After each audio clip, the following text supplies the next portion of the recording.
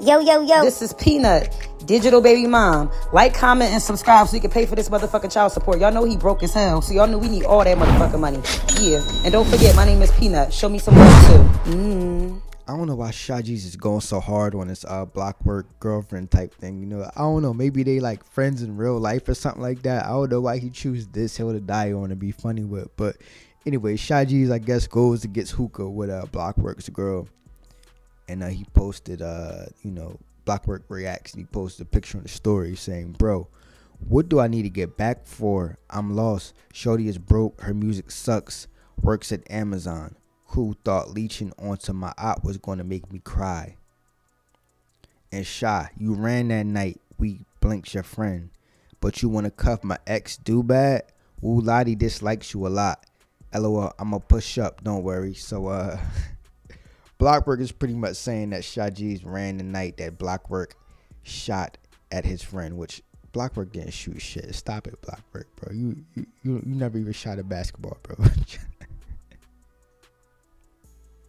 then he said like you want to you want to cuff my ex dude bad. I don't think he's trying to cuff her not like that. I think he's trying to be funny. Then Blockwork said, "I'm a push up. Don't worry, Blockwork. You you you haven't done a push up in real life. You're not doing nothing, bro. You're not gonna push up." Um, I will say this. I don't understand Sha Gz is going out of his way to be cool with Mel Bands. If that wasn't Blockworks X, he probably wouldn't even have even noticed that that was a person, a rapper, an entertainer, a human at all. You feel me? He just trying to be funny with it, which is crazy. Which is like, um, at the end of the day, that looks kind of corny on her, but I understand it. People try to be funny. Um, my thing is this, dog.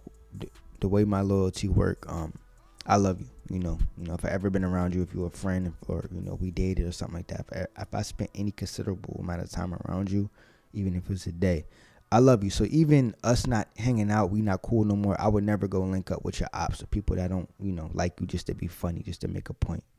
If anything, it's it makes everyone look corny because Blockworks responding emotionally. Sha Gz looks desperate, bro. Like imagine Lil Durk going to like get FBG Duck's ex girlfriend or something. Like it would just look stupid, bro. Like Lil Durk is on a whole nother level.